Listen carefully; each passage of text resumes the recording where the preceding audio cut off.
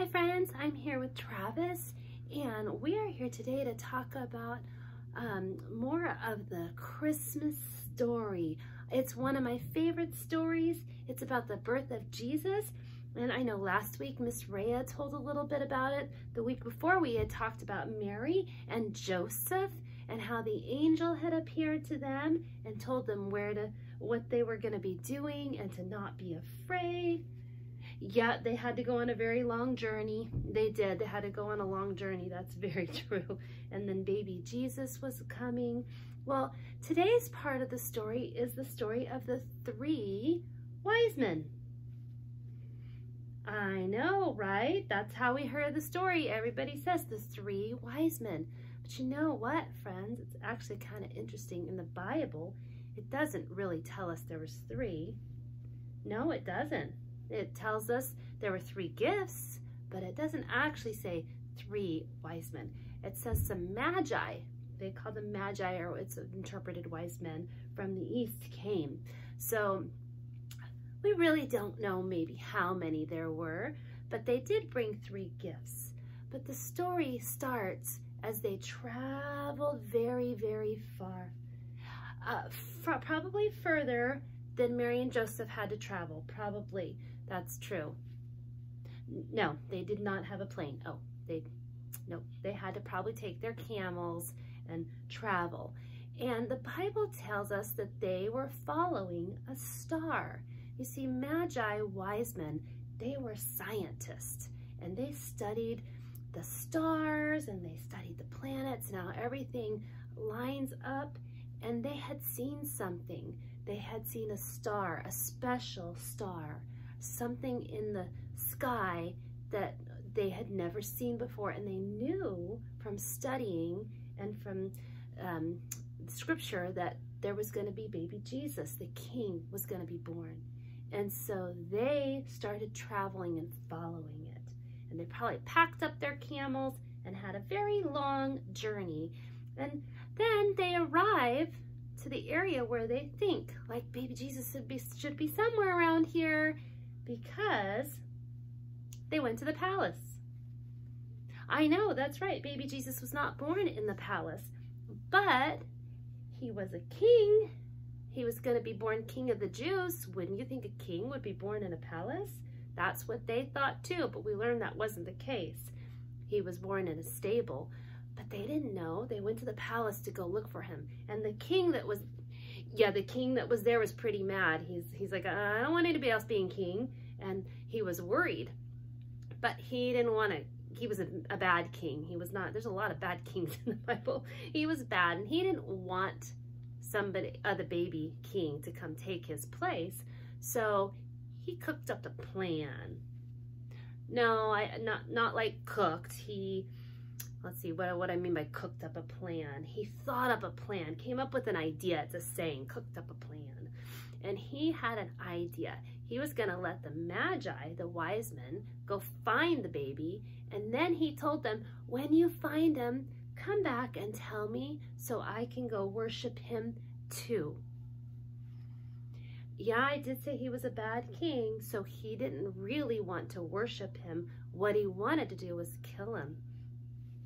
I know. Yeah, that's not a good thing. Mm -mm. So the wise men didn't know, but they said, okay. And they kept, they did some more research and then they got and they saw the star and they kept following the star. They found out that Jesus was supposed to be born in Bethlehem.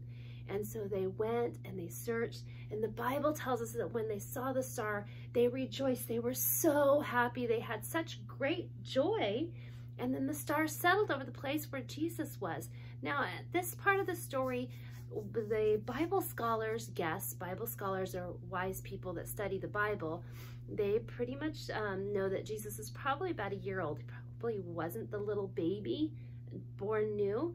So this part of the story comes a little bit later, but they came and they saw Mary, his mother, and they saw Jesus, and the Bible says they bowed down and they worshiped him. Yes, they brought him those gifts, gold, frankincense, and myrrh.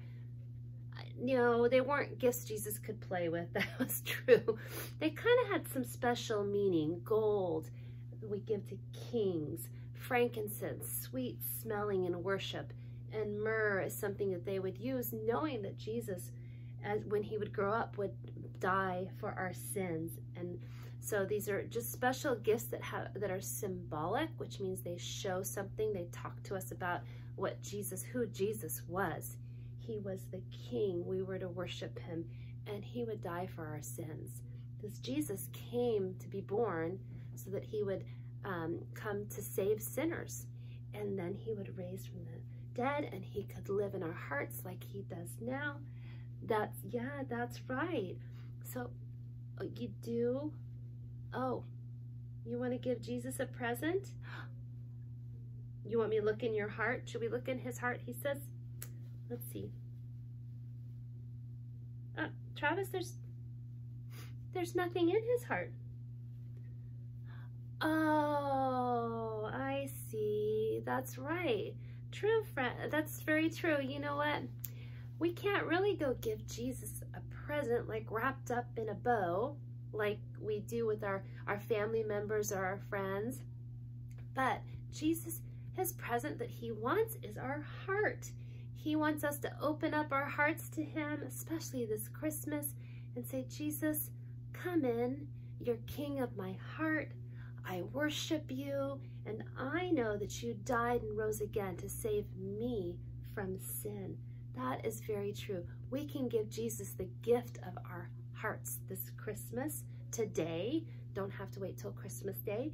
Anytime. We give Jesus the gift of our hearts. And oh, oh, okay, yes.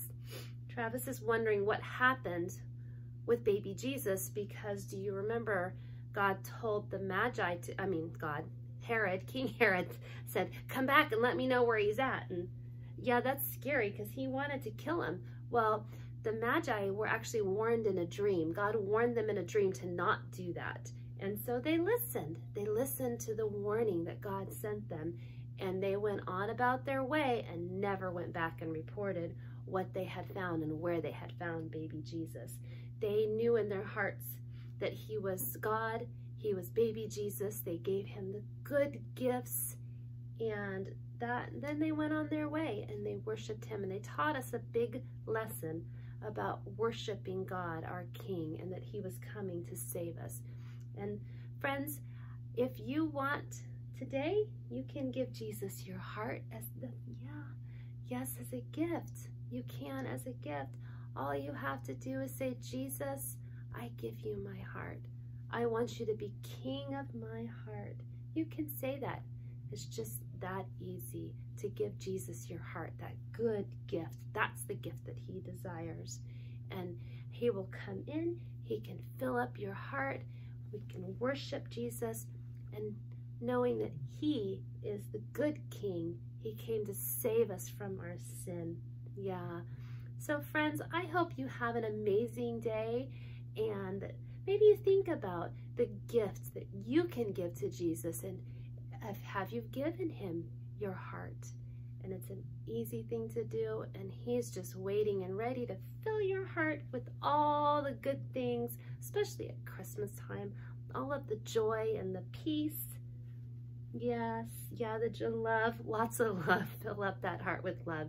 All right, I hope you have an amazing day, and I will see you, or Miss Rhea will see you. We'll see which one of us tells the next part of the story next Sunday. Have a great day. Love you, friends. Bye.